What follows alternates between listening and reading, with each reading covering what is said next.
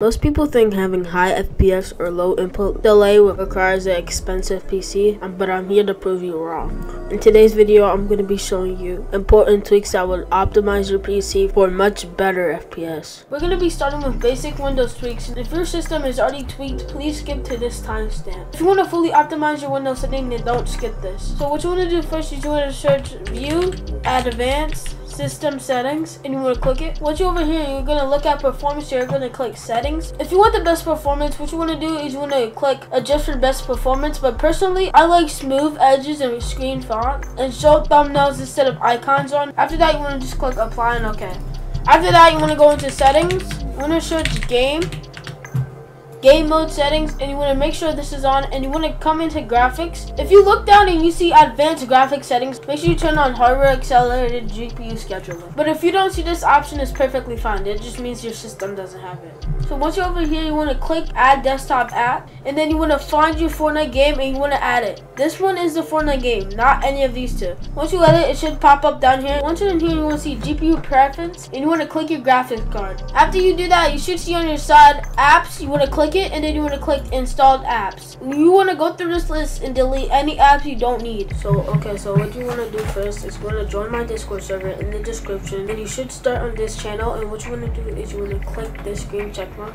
After you click this green check mark, you want to click free tweaks right here. You want to click video resources. After you click it, you want to download this. After you download it, you should see this file. And what you want to do is you want to click it and you want to click extract all. After you extract it all, it should create a new file all you need to do is click it. And for the first optimization, this is only for NVIDIA users. If you're on AMD, please skip to the next optimization. But if you're in NVIDIA, stick around. So what you want to do is you want to double click on this folder. You want to right click on this. You want to click run as administrator. You want to come over here to profile. So you want to delete this you want to search up Fortnite or the game you're playing. After you search it up, what you want to do is you want to drag the XNet free settings into here, but I'm not going to do that because I have my premium settings. After you do that, it should be optimized and go to the next setting. Okay, for so for the next setting, what you want to do is you want to double click on this folder and then you want to click Windows and R. After you click Windows and R, run should pop up and what you want to do is you want to type percent local app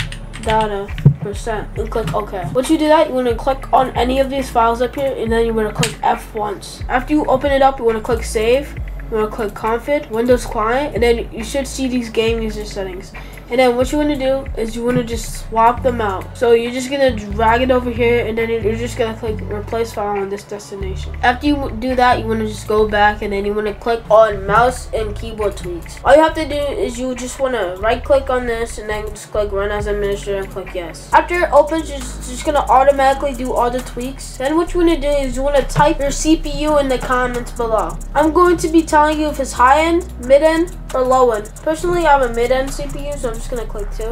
And it should just complete the operation. After that, that should be done and just close out the program. Then what you wanna do is you wanna double click on this and then open Autoruns. What you wanna do is you wanna go into log on and disable everything that you don't need. Make sure not to disable anything that you don't know because you could disable something that you need in order for the computer to run. But after you do that, just click exit. You don't need to save. And then go back.